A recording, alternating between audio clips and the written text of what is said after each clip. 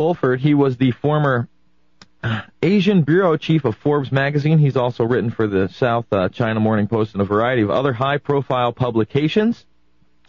We're going to talk to him about global affairs today. How are you, Benjamin? Fine, fine. How are you? I am very, very good.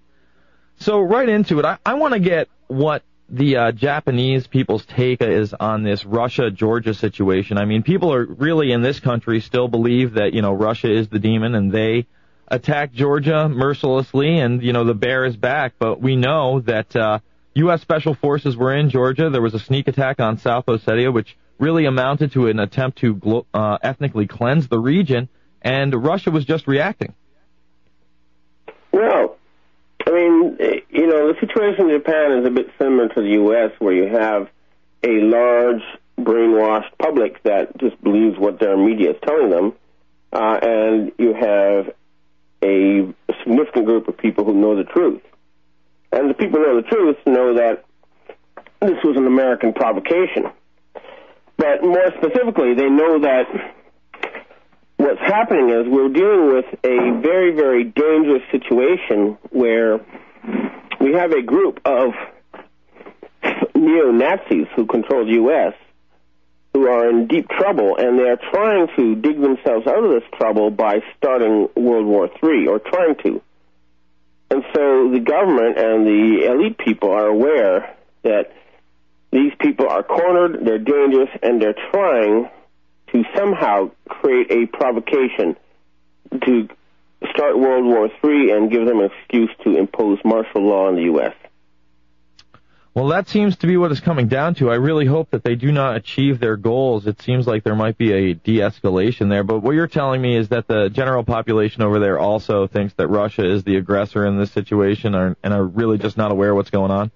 Well, I think the aware segment is larger than in the U.S., but uh, unfortunately, the mainstream newspapers and television are following the U.S.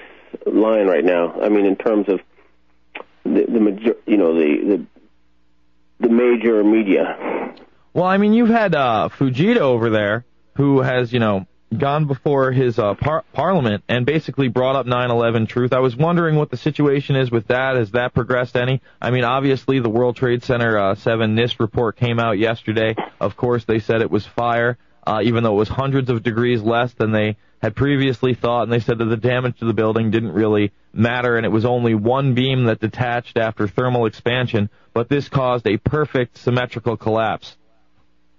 Oh, I mean, look, you know, the people who are totally brainwashed will will clutch any straw they need to, you know, keep their illusionary world around them, right? Mm-hmm. But anybody who knows what's going on knows and has known for a long time this is a bunch of BS. So, do you think there'll You know- be any progress over there on, on the uh, issue of uh, 9/11 truth? Or do you Well, think what's happening here over here is that we have a government that was set up by the CIA and the you know remnants of the uh, military regime of, of World War II, and that regime is coming to an end. They're they're delaying. They can delay the next election until September of next year, but all opinion polls show that they are on their way out. So what's happening is we're headed for a major regime change here in Japan. And so the opposition party that, that has support of the majority of the population, they are aware of the situation, and there will be truth commissions, and all that sort of stuff once this regime is out of the way. Well, what kind of power do you think will be given to those kind of commissions? I mean, obviously, we won't have a a war crimes tribunal much like the Hague. I mean, I just don't see that happening. I mean, what oh, do you there think? will be a truth commission like they had in South Africa. hmm So Now- basically, people will be named, but nothing will be done. Well, you know, they'll be named and, and shamed, and, and when you say nothing will be done, I mean, you have to look at it this way. I mean, they won't be able to do this anymore. Now, here in Japan, the the same people who were behind 911 have been financing certain uh, pseudo right wing groups who function much like the German brown shirts did. And they've been murdering politicians and um, members of the media as well as industrialists in order to keep their sort of control over this country for the past 60 years. And that will be exposed. Well, I certainly hope so because we've only seen more censorship. I mean, in the last few weeks, uh, Infowars and Prison Planet have been uh, blocked in large segments of the United Kingdom. Alex actually did a big contest to uh, make viral videos to make people aware of this. And, you know, I see that crackdown happening in this country a little bit soon. I, I don't know what it's like over in Japan. How censored is the internet right now? Well, not very. I mean, uh, the, the the current regime is sort of like reluctantly following U.S. orders to the minimum necessary uh, with the greatest delay possible. Um, that's sort of their policy. They, they try to appear like they're following their their official line without really wanting to do it. As you know, that's what's happening here. Um, you got to remember, the U.S. is sort of like the heart of darkness. Uh, things look worse from the worse from the point of view of within the United States. Now, didn't know today was not going to. Uh, Alex Jones was not going to be here, but there was an issue I wanted to bring up with him because I feel that he has been manipulated by CIA propaganda when it comes to China. Well, how so? You have the In floor. particular, I wanted to discuss Falun Gong. Okay. Falun Gong is not a typical religious organization, okay? It's a psyops, a very big one. And it's run by a guy called Elliott Abrams, who is a convicted criminal in the Iran Contra affair. And you can prove that uh, Falun Gong is a psyops just by looking at their financing.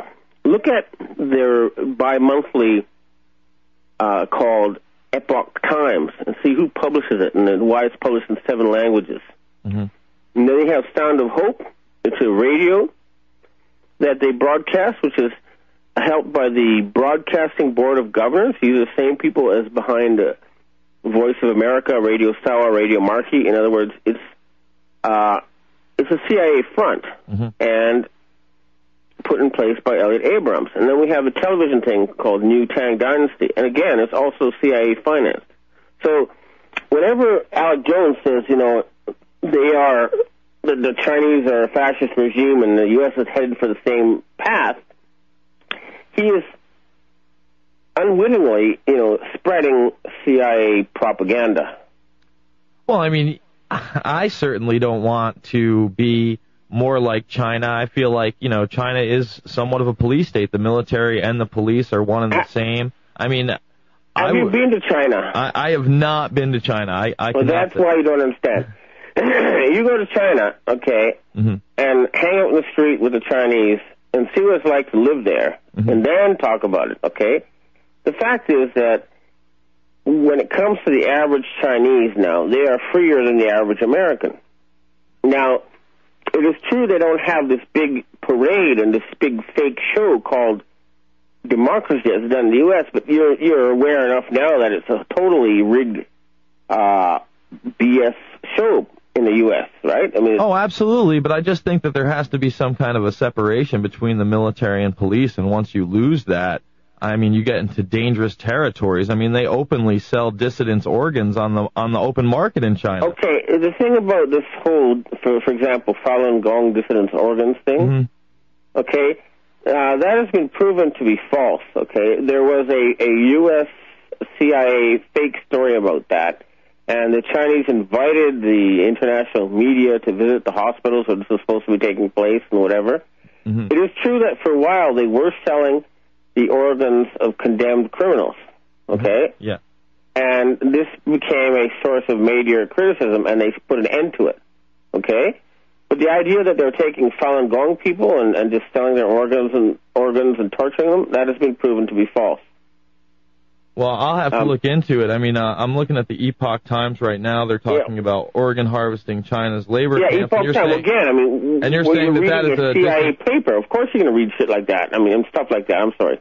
Okay. Um. Well, you know, again, I, I, I'm I don't know enough about it, and you kind of put me on the spot here for that. So I'll have to look into it. I got to tell you, I I can't see myself comfortable in a more Eastern eye society. I see I, I see both cultures kind of gravitating towards one another, which scares me. I mean. In the last Well- 20 to 30 years, I mean, we're talking about blue jeans, Coca-Cola over there, obviously, a lot of uh, you know westernized eateries or whatever. And over here, I see more of a police state. And I, I'm sorry, I just don't know if I would be comfortable with again the military being the police, especially the way the military is set up in this country. I, I think that's a, a very thin line. And I know that China has kind of been endeared over the past 10 years being, uh, beginning to be accepted in global organizations, you know, NATO, the UN, and now, you know, hosting the Olympics. So, you know, obviously my beef is not with every Chinese citizen, and I truly don't know how much freedom uh, a Chinese citizen has on All the street, but I do know that they do have a lot of one-child policy.